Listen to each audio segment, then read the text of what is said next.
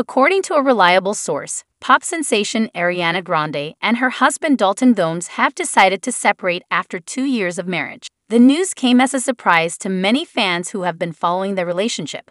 Although the exact reason for the separation has not been disclosed, the source mentioned that the decision was mutual and amicable. Both Ariana and Dalton have reportedly remained on good terms and continue to support each other. Ariana and Dalton tied the knot in a private ceremony in May 2021 after dating for a year. The couple had managed to keep their relationship mostly private, with occasional glimpses shared on social media. Fans are naturally saddened by the news of the separation, as they had hoped for a lasting and happy union between the two.